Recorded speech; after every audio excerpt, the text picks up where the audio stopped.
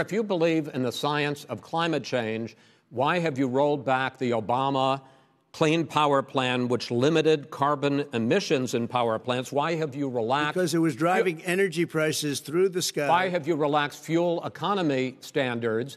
That are going to create more pollution from cars well not trucks. really because what's happening is the car is much less expensive and it's a much safer car and you're talking about a tiny difference and then what would happen because of the cost of the car you would have at least double and triple the number of cars purchased. We have the old slugs out there that are 10, 12 years old. If you did that, the car would be safer. It would be much cheaper by three thousand five hundred dollars. In California, they've simply no, but you would take your, a lot of cars off the market because people would be able to afford a car.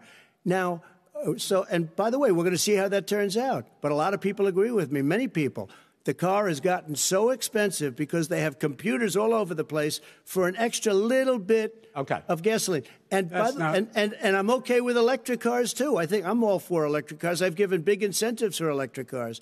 But what they've done in California is just all crazy. Right.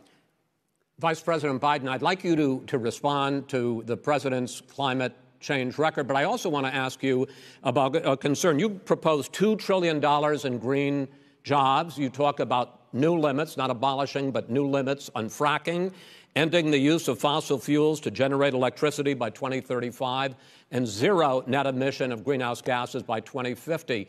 The president says a lot of these things would tank the economy and cost millions of jobs. He's absolutely wrong.